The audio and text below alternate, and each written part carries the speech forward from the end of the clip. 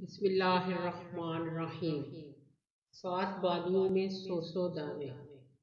मिर्ज़ा साहब और अहमद अली की दोस्ती इतनी ही पुरानी थी जितने हमारे प्यारे वतन की उम्र है। पाकिस्तान बना तो ये दोनों अपने अपने ख़ानदानों के साथ हिजरत करके आए और एक ही शहर और एक ही मोहल्ले में आबाद हो गए घर भी करीब करीब थे। जब वो आए थे तो अजनबी थे लेकिन पड़ोसी बने तो अजनबीयत चंद रोज़ में ख़त्म हो गई। ये वो ज़माना था जब पड़ोसियों का बड़ा हक माना जाता था एक का दुख दूसरे का दुख था और एक की खुशी दूसरे की खुशी होती थी। यही हाल मिर्ज़ा साहब और अहमद अली के ख़ानदान का था। थोड़ी ही दिन में वो गुल मिल गए और मिर्ज़ा साहब और अहमद अली की दोस्ती परवान चढ़ती गई। वक़्त पर लगा कर उठता रहा। अठावन साल गुजर गए। घर बदल गए मोहल्ला बदल गया। हालात बदलते रहे। लेकिन मिर्ज़ा साहब और अहमद अली की दोस्ती मज़बूत होती गई। अब भी ये हाल था कि दो दिन मुलाकात ना हो तो इधर मिर्ज़ा साहब बेचैन हो जाते, उधर अहमद अली की ज़िंदगी बेमज़ा हो जाती। बात यह है कि इस दोस्ती की बुनियाद हलूस और बेगर्जी पर थी। मोहब्बत और सच्ची मोहब्बत थी जब बुनियाद ऐसी मज़बूत हो तो भला दोस्ती क्यों ना कायम रहे? हाँ एक फ़र्क ज़रूर था। मिर्ज़ा साहब बड़ी जदाद के मालिक थे, पैसे वाले थे और अहमद अली की सारी ज़िंदगी सरकारी मुलाजत में गुजरी।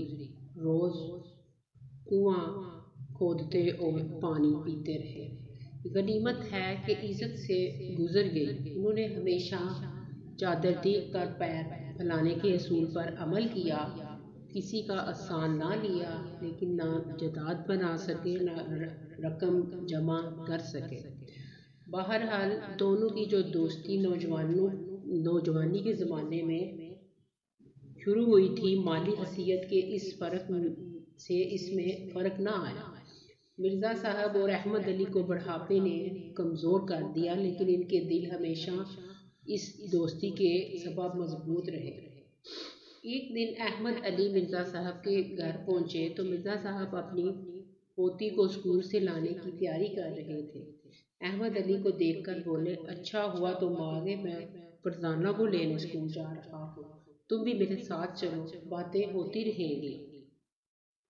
अहमद अली गाड़ी में बैठ गए और गाड़ी स्कूल की तरफ़ चल दी। अहमद अली ने स्कूल की शान शानदार इमारत बाहर से तो कई बार देखी थी और इससे बहुत मुतासर थे, लेकिन आज अंदर से ये इमारत और इसकी सजावट देखी तो दांत दिए बगैर न रह सके। बच्चों के साफ़ शफाफ यूनिफॉर्म, बच्चों का रख रखाव और स्कूल के मैदान में इनके खेल और तफरी का साजो सामान अहमद अली की हर चीज़ को बड़ी दिलचस्पी से देखते रहे। इसके बाद कई बार ऐसा हुआ कि अहमद अली मिर्ज़ा साहब के साथ फरजाना को लेने स्कूल गए। हर बार इन्हें कोई नई चीज़ नज़र आ जाती और वो मिर्ज़ा साहब से इसकी खूब तारीफ़ करते। रफ्ता रफ्ता अहमद अली के दिल में एक नई ख्वाहिश ने जन्म लिया। वो मिर्ज़ा साहब के साथ जब स्कूल आते तो छुट्टी के वक्त बच्चों के हजूम में तस्वर ही तस्वर में अपने पोते शहाब को तलाश करने लगते। खूबसूरत यूनिफॉर्म पहने, बस्ता कंधे से लटकाए, हंसता मुस्कुराता हुआ शहाब अचानक इनके सामने आ जाता। इसे देखकर अहमद अली भी मुस्करा देते और इतने में मिर्ज़ा साहब की आवाज़ इन्हें चुका देती, अरे भाई, कहाँ खो गए? ये क्या हो जाता है तुम्हें तुम्हें? अहमद अली का हवाब एकदम टूट जाता। उन्होंने मिर्ज़ा साहब को कभी नहीं बताया कि वो कहाँ खो जाते हैं और इन्हें क्या हो जाता है। लेकिन इनके बेतिक सवालों से मिर्ज़ा साहब बाम गए कि मामला क्या है। एक दिन अहमद अली ने मिर्ज़ा साहब से अचानक पूछा, मिर्ज़ा, स्कूल में एक बच्चे की पढ़ाई पर कितना खर्च आ जाता? होगा। मिर्ज़ा, मेरा मतलब है फ़ीस, यूनिफॉर्म, किताबें, ट्रांसपोर्ट वगैरह वगैरह। मिर्ज़ा साहब इस सवाल के जवाब के लिए तैयार ना थे। फिर उन्होंने दिल दिल में साव लगाकर चंद लम्हों में अहमद अली को कुल रकम बताई, जिसे सुनकर अहमद अली को यूँ महसूस हुआ कि जैसे इनका दिल बैठने लगा हो। अब अहमद अली का ये मामूल बन गया कि अक्सर ऐसे वक्त में मिर्ज़ा के घर जाते वो पोती को लेने स्कूल जा रहे हो और वहाँ पहुँच वो अपने ख्यालों की दुनिया में खो जाते इस दुनिया में वो शहाब को अला तलीम हासिल करते और कामयाब ज़िंदगी गुजारते हुए देखते और जब वो इस ख्याली दुनिया से हकीकी दुनिया में लौटते तो देर तक ये सोचते रहते कि कहाँ से इस रकम का इंतज़ाम किया जाए जो इस स्कूल में शहाब के दाखिले के लिए काफ़ी हो। अहमद अली को अंदाज़ा था कि इनके बेटी की जो आमदनी है, वो घर का हरत चलाने के लिए तो काफ़ी है, लेकिन इसमें आला दर्जे के स्कूल का खर्चा पूरा नहीं हो सकता। मिर्ज़ा साहब को अहमद अली की इस ख्वाहिश का अंदाज़ा हो चुका था। इनके लिए स्कूल में शहाब की तलीम का खर्च अपने ज़ुम्मे लेना मामूली बात थी। अगर अहमद अली इनकी ये बात मान लेते तो इन्हें बेहद खुशी होती। इनकी इनकी और अहमद अली दोस्ती इस तरह की थी कि वो हर गिज़ उसे आसान ना समझते। लेकिन वो अहमद अली के मजाज से वाकफ़ थे। वो हमेशा ये देखते आए थे कि अहमद अली सिर्फ़ अल्लाह का एहसान उठाने के कायल थे और सिर्फ़ अपनी मेहनत पर भरोसा करते। उन्होंने ज़िंदगी में जब भी अहमद अली को किसी मदद की पेशकश की तो उन्होंने यही जवाब मिला, मेरी जायज़ ख्वाहिशों को मेरा अल्लाह पूरा करता है।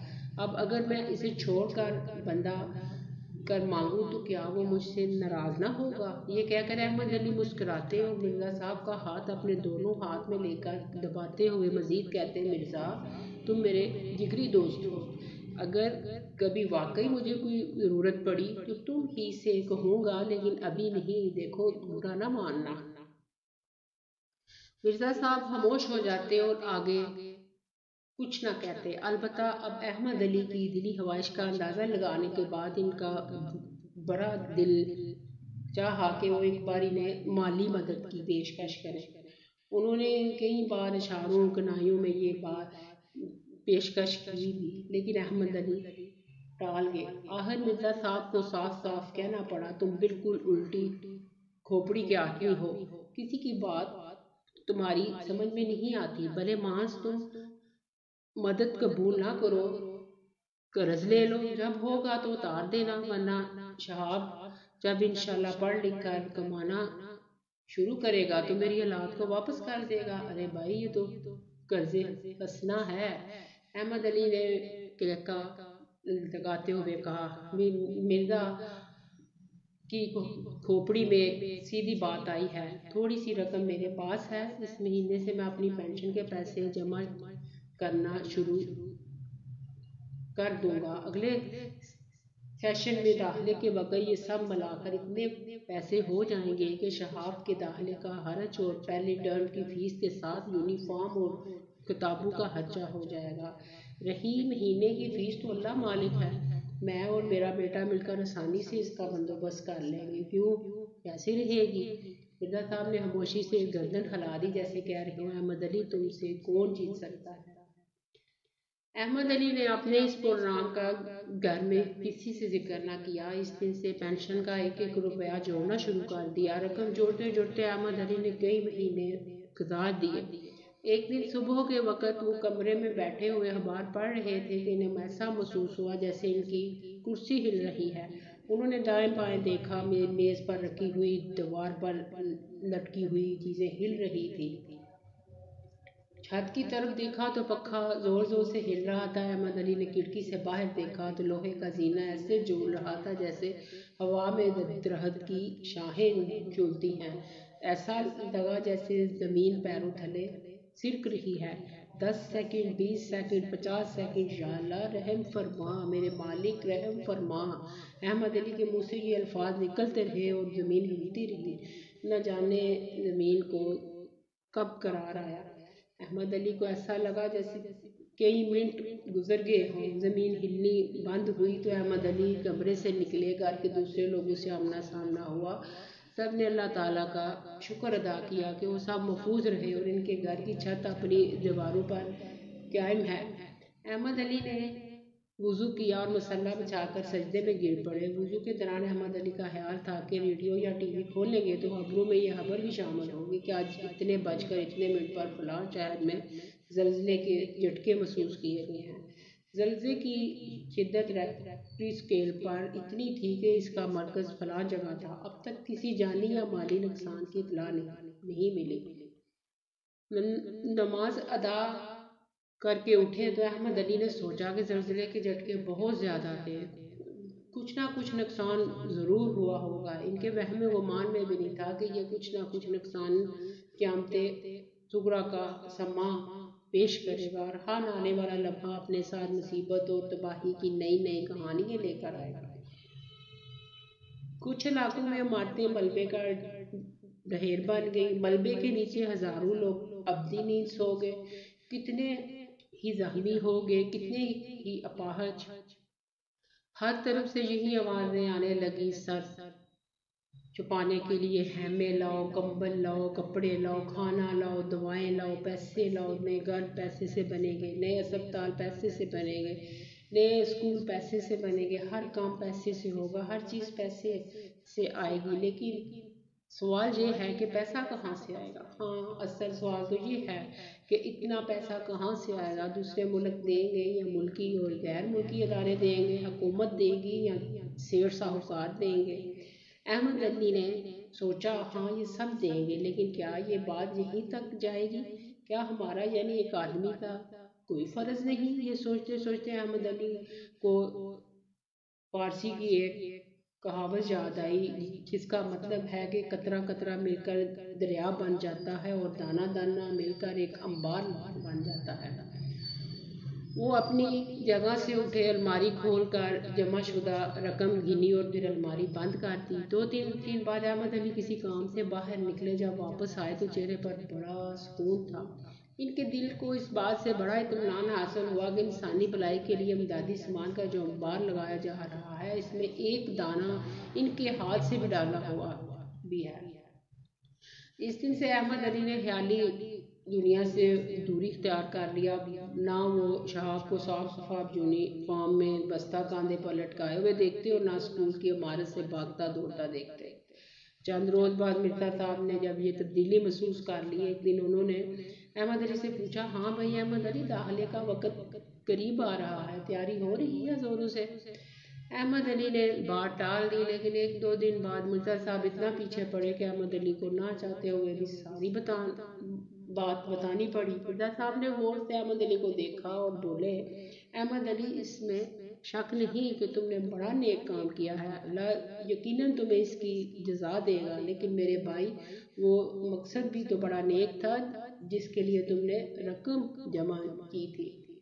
अहमद अली ने मुस्कुराते हुए मिर्ज़ा साहब के कंधे पर हाथ रखा और बोले, भाई मिर्ज़ा, ये तो तुम भी मानोगे कि तलीम के लिए सिर्फ़ यही बड़े बड़े स्कूल तो नहीं रह गए, छोटे छोटे आम स्कूल में भी तो तलीम दी जाती है। इससे कौन इनकार कर सकता कि इन आम स्कूलों में पढ़े हुए बेशुमार तालब इलम बड़े आदमी बने? और ऊँचे मकाम तक पहुँचे। मेरे शहाब का जहन अच्छा होगा और वो मेहनत करेगा तो उसे कोई भी आगे जाने से नहीं रोक सकेगा। और फिर ये भी बात है कि कितने ही स्कूल जल्ले वाले इलाके में मलबे के ढहेर बन गए। जो बच्चे बेचारे मर गए, वो तो मर गए, लेकिन जो ज़िंदा बचे, इनकी तलीम का क्या होगा?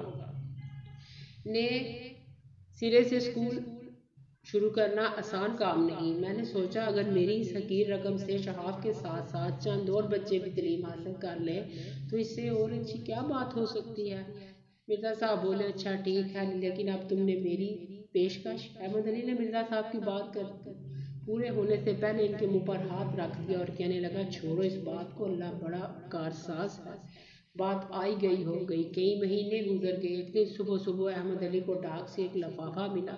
अहमद अली ने लफाफे पर लगी हुई सरकारी मोहर देखी। उन्होंने जल्दी जल्दी कामते हुए हाथों से लफाफा खोला और इसमें रखा हुआ खत निकाल कर पड़ा खत पढ़ते ही वो सजदे में गिर पड़े और बेख्तियार सूरत बकरा की शायद की तिलावत अब इस, इनकी ज़बान से जारी हुई कि किसका तर्जमा है।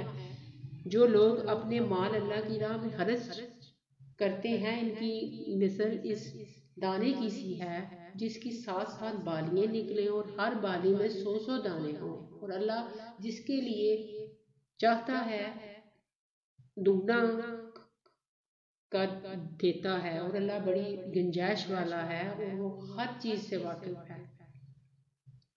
अहमद अली ने विगी हुई आँखों से एक बार फिर हाथ पड़ा और जल्दी जल्दी मिर्ज़ा साहब का फ़ोन नंबर मिलाकर इन्हें इतला दी। मिर्ज़ा, मेरी मेरी छलाटी वाली अपील हुकूमत ने मंजूर कर ली और फैसला किया कि मुलाजमत के दौरान कम तनख्वाह के दस साल के बकाया जात और रिटायरमेंट के बाद जो कम पेंशन मुझे मिलती रही है, वो सारी रकम मुझे इकट्ठी मिलेगी। मिर्ज़ा साहब मिर्ज़ा मैंने कहा था ना कि अल्लाह बड़ा कारसाज है।